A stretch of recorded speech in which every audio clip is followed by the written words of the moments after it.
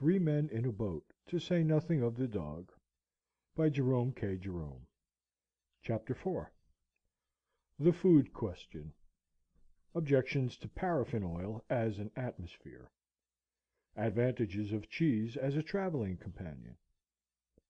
A married woman deserts her home. Further provision for getting upset. I pack. Cussedness of tooth brushes George and Harris pack Awful behavior of Montmorency We retire to rest. Then we discussed the food question. George said, "Begin with breakfast." George is so practical. "Now, for breakfast we shall want a frying pan." Harris said it was indigestible, but we merely urged him not to be an ass, and George went on: "A teapot and a kettle and a methylated spirit stove. No oil," said George, with a significant look, and Harris and I agreed. We had taken up an oil stove once, but never again. It had been like living in an oil shop that week. It oozed. I never saw such a thing as paraffin oil is to ooze. We kept it in the nose of the boat, and from there it oozed down to the rudder, impregnating the whole boat and everything in it on its way, and it oozed over the river, and saturated the scenery, and spoilt the atmosphere. Sometimes a westerly oily wind blew, at other times an easterly oily wind, and sometimes it blew a northerly oily wind, and maybe a southerly oily wind; but whether it came from the Arctic snows, or was raised in the waste of the desert sands, it came, alike to us, laden with fragrance of paraffin oil. And that oil oozed up and ruined the sunset, and as for the moonbeams, they positively reeked of paraffin. We tried to get away from it at Marlow. We left the boat by the bridge, and took a walk through the town to escape it, but it followed us. The whole town was full of oil. We passed through the churchyard, and it seemed as if the people had been buried in oil. The High Street stunk of oil. We wondered how people could live in it. And we walked miles upon miles out Birmingham way, but it was no use. The country was steeped in oil. At the end of that trip we met together at midnight in a lonely field under a blasted oak, and took an awful oath. We had been swearing for a whole week about the thing in an ordinary middle class way, but this was a swell affair. An awful oath never to take paraffin oil with us in a boat again, except, of course, in case of sickness. Therefore, in the present instance, we confined ourselves to methylated spirit. Even that is bad enough. You get methylated pie and methylated cake, but methylated spirit is more wholesome when taken into the system in large quantities than paraffin oil. For other breakfast things, George suggested eggs and bacon, which were easy to cook, cold meat, tea, bread and butter, and jam. For lunch he said we could have biscuits, cold meat, bread and butter, and jam, but no cheese. Cheese, like oil, makes too much of itself. It wants the whole boat to itself. It goes through the hamper, and gives a cheesy flavour to everything else there. You can't tell whether you are eating apple pie, or German sausage, or strawberries and cream. It all seems cheese. There is too much odour about cheese. I remember a friend of mine buying a couple of cheeses at Liverpool. Splendid cheeses they were, ripe and mellow, and with a two hundred horse power scent about them that might have been warranted to carry three miles and knock a man over at two hundred yards. I was in Liverpool at the time, and my friend said that if I didn't mind he would get me to take them back with me to London, as he should not be coming up for a day or two himself, and did not think the cheeses ought to be kept much longer. "Oh, with pleasure, dear boy!" I replied, "with pleasure!" I called for the cheeses, and took them away in a cab. It was a ramshackle affair, dragged along by a knock kneed, broken winded somnambulist, which his owner, in a moment of enthusiasm during conversation, referred to as a horse. I put the cheeses on the top, and we started off at a shamble that would have done credit to the swiftest steam roller ever built; and all went merry as a funeral bell until we turned the corner. There the wind carried a whiff from the cheeses full on to our steed. It woke him up, and with a snort of terror he dashed off at three miles an hour. The wind still blew in his direction, and before we reached the end of the street he was laying himself out at the rate of nearly four miles an hour, leaving the cripples and stout old ladies simply nowhere. It took two porters, as well as the driver, to hold him in at the station; and I do not think they would have done it even then had not one of the men had the presence of mind to put a handkerchief over his nose and to light a bit of brown paper. I took my ticket and marched proudly up the platform with my cheeses, the people falling back respectfully on either side. The train was crowded, and I had to get into a carriage where there were already seven other people. One crusty old gentleman objected, but I got in notwithstanding, and putting my cheeses upon the rack, squeezed down with a pleasant smile, and said it was a warm day. A few moments passed, and then the old gentleman began to fidget. "Very close in here," he said. "Quite oppressive," said the man next him. And then they both began sniffing, and at the third sniff they caught it right on the chest, and rose up without another word and went out. And then a stout lady got up, and said it was disgraceful that a respectable married woman should be harried about in this way, and gathered up a bag and eight parcels, and went. The remaining four passengers sat on for a while, until a solemn looking man in the corner, who, from his dress and general appearance, seemed to belong to the undertaker class, said it put him in mind of dead baby; and the other three passengers tried to get out the door all at the same time, and hurt themselves. I smiled at the black gentleman, and I said I thought we were going to have the carriage to ourselves; and he laughed pleasantly, and said that some people made such a fuss over a little thing. But even he grew strangely depressed after we had started, and so, when we reached Crewe, I asked him to come and have a drink. He accepted, and we forced our way into the buffet, where we yelled, and stamped, and waved our umbrellas for a quarter of an hour; and then a young lady came, and asked us if we wanted anything. "What's yours?" I said, turning to my friend. "I'll have half a crown's worth of brandy, neat, if you please, miss," he responded. And he went off quietly after he had drunk it, and got into another carriage which I thought mean. From Crewe I had the compartment to myself, though the train was crowded. As we drew up to the different stations, the people, seeing my empty carriage, would rush for it. "Here you are, Maria! Come along! Plenty of room!" "All right, Tom, we'll get in here!" they would shout; and they would run along carrying heavy bags, and fight round the door to get in first; and one would open the door and mount the steps, and stagger back into the arms of the man behind him, and they would all come and have a sniff, and then droop off and squeeze into other carriages, or pay the difference and go first. From Euston I took the cheeses down to my friend's house. When his wife came into the room, she smelt round for an instant, then she said, "What is it? Tell me the worst." I said, "It's cheeses. Tom bought them in Liverpool, and asked me to bring them up with me." And I added that I hoped she understood that it had nothing to do with me, and she said that she was sure of that, but that she would speak to Tom about it when he came back. My friend was detained in Liverpool longer than he expected, and three days later, as he hadn't returned home, his wife called on me. She said, "What did Tom say about those cheeses?" I replied that he had directed they were to be kept in a moist place, and that nobody was to touch them. She said, "Nobody's likely to touch them. Had he smelt them?"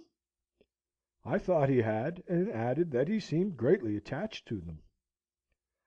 "You think he would be upset," she queried, "if I gave a man a sovereign to take them away and bury them?" I answered that I thought he would never smile again. An idea struck her. She said, "Do you mind keeping them for him? Let me send them round to you." "Madam," I replied, "for myself I like the smell of cheese, and the journey the other day with them from Liverpool I shall ever look back upon as a happy ending to a pleasant holiday. But in this world we must consider others.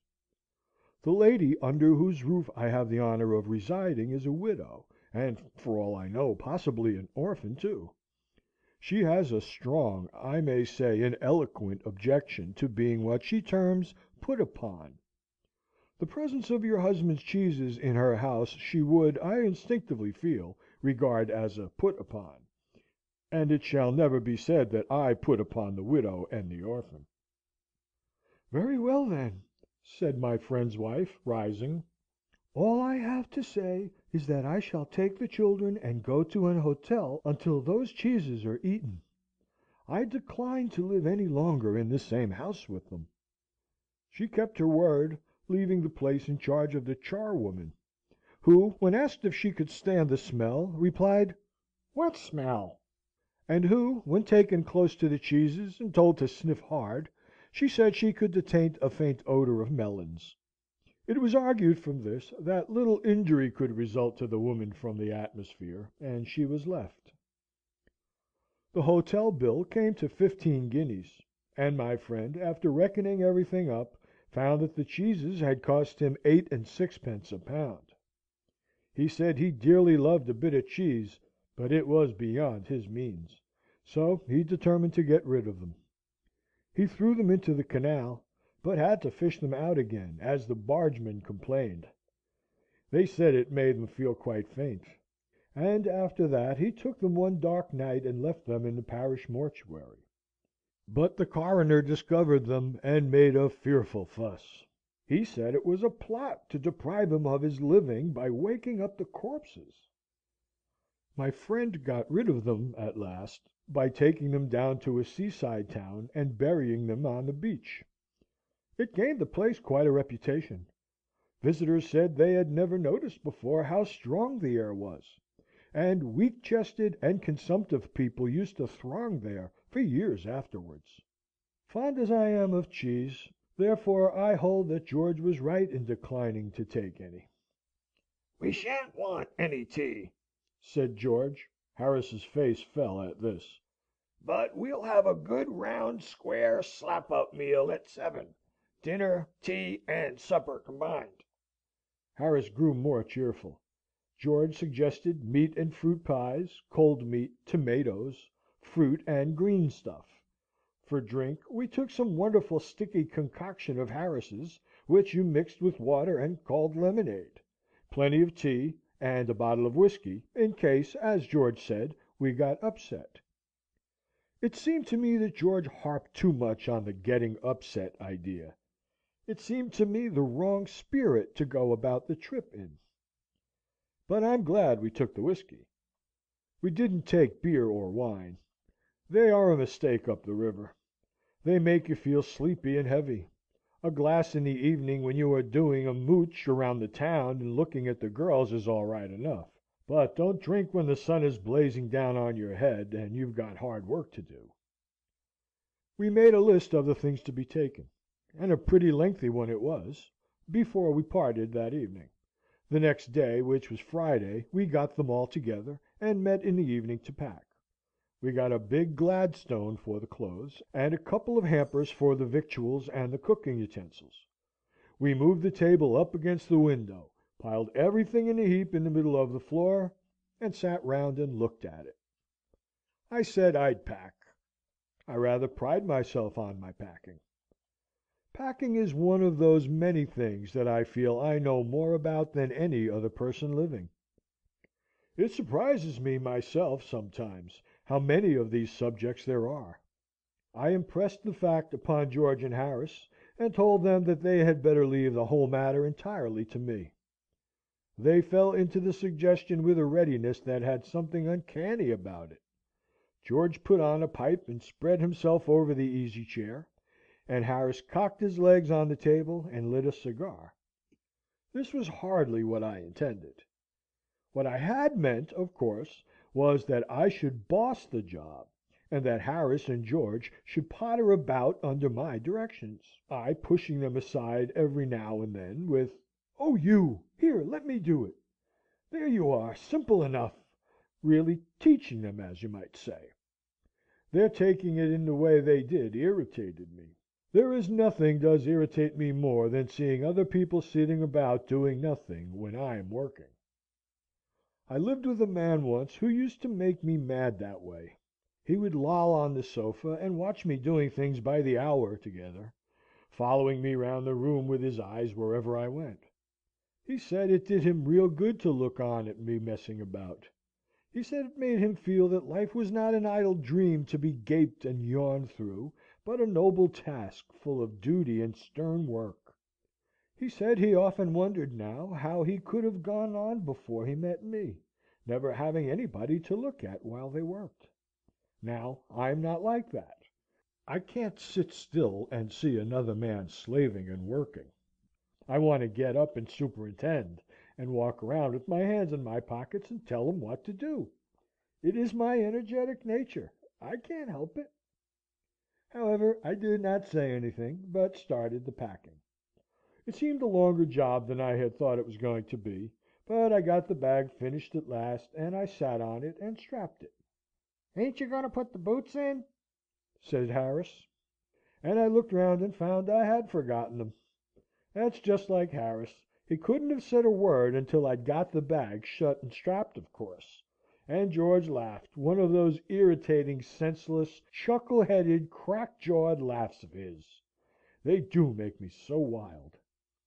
I opened the bag and packed the boots in, and then, just as I was going to close it, a horrible idea occurred to me. Had I packed my toothbrush? I don't know how it is, but I never do know whether I've packed my toothbrush. A toothbrush is a thing that haunts me when I am travelling, and makes my life a misery.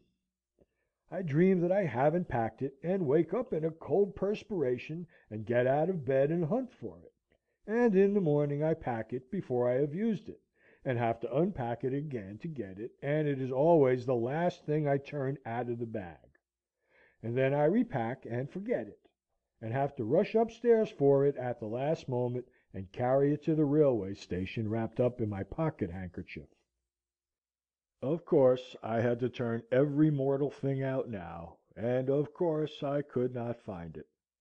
I rummaged the things up into much the same state that they must have been before the world was created, and when chaos reigned. Of course I found George's and Harris's eighteen times over, but I couldn't find my own. I put the things back one by one, and held everything up and shook it. Then I found it inside a boot. I repacked once more. When I had finished, George asked if the soap was in.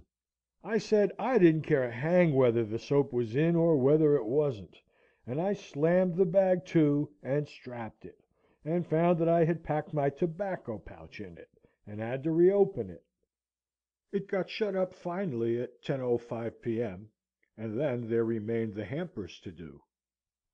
Harris said that we should be wanting to start in less than twelve hours' time, and thought that he and George had better do the rest; and I agreed, and sat down, and they had a go. They began in a light hearted spirit, evidently intending to show me how to do it. I made no comment; I only waited. When George is hanged, Harris will be the worst packer in this world and I looked at the piles of plates, and cups, and kettles, and bottles, and jars, and pies, and stoves, and cakes, and tomatoes, etc., and felt that the thing would soon become exciting. It did. They started with breaking a cup. That was the first thing they did. They did that just to show you what they could do, and to get you interested. Then Harris packed the strawberry jam on top of a tomato, and squashed it and they had to pick out the tomato with a teaspoon.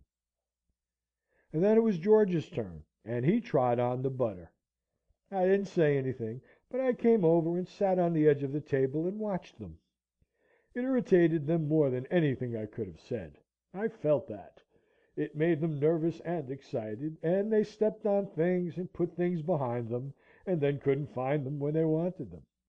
And they packed the pies at the bottom and put heavy things on top, and smashed the pies in. They upset salt over everything; and as for the butter, I never saw two men do more with one and twopence worth of butter in my whole life than they did. After George had got it off his slipper, they tried to put it in the kettle. It wouldn't go in, and what was in wouldn't come out. They did scrape it out at last, and put it down on a chair, and Harris sat on it, and it stuck to him, and they went looking for it all over the room. "I'll take my oath I put it down on that chair," said George, staring at the empty seat. "I saw you do it myself, not a minute ago," said Harris. Then they started round the room again, looking for it, and then they met again in the centre, and stared at one another. "Most extraordinary thing I ever heard of!" said George. "So mysterious!" said Harris. Then George got round at the back of Harris, and saw it. "Why, here it is all the time!" he exclaimed indignantly. "Where?" cried Harris, spinning round. "Stand still, can't you?" roared George, flying after him. And they got it off, and packed it in the teapot. Montmorency was in it all, of course. Montmorency's ambition in life is to get in the way and be sworn at. If he can squirm in anywhere where he particularly is not wanted, and be a perfect nuisance, and make people mad, and have things thrown at his head, then he feels his day has not been wasted. To get somebody to stumble over him and curse him steadily for an hour is his highest aim and object; and when he has succeeded in accomplishing this, his conceit becomes quite unbearable. He came and sat down on things just when they were wanted to be packed; and he laboured under the fixed belief that whenever Harris or George reached out their hand for anything, it was his cold damp nose that they wanted. He put his leg into the jam, and he worried the teaspoons; and he pretended that the lemons were rats, and got into the hamper, and killed three of them before Harris could land him with the frying pan. Harris said I encouraged him. I didn't encourage him. A dog like that don't want any encouragement. It's the natural, original sin that is born in him that makes him do things like that. The packing was done at twelve fifty, and Harris sat on the big hamper, and said he hoped nothing would be found broken. George said that if anything was broken, it was broken, which reflection seemed to comfort him. He also said he was ready for bed. We were all ready for bed. Harris was to sleep with us that night, and we went upstairs. We tossed for beds, and Harris had to sleep with me. He said, "Do you prefer the inside or the outside, J?" I said I generally preferred to sleep inside a bed. Harris said it was old. George said, "What time shall I wake you fellows?" Harris said, "Seven." I said, "No, six," because I wanted to write some letters. Harris and I had a bit of a row over it, but at last split the difference, and said half past six. "Wake us at six thirty, George," we said. George made no answer, and we found on going over that he had been asleep for some time; so we placed the bath where he could tumble into it on getting out in the morning, and went to bed ourselves. CHAPTER V.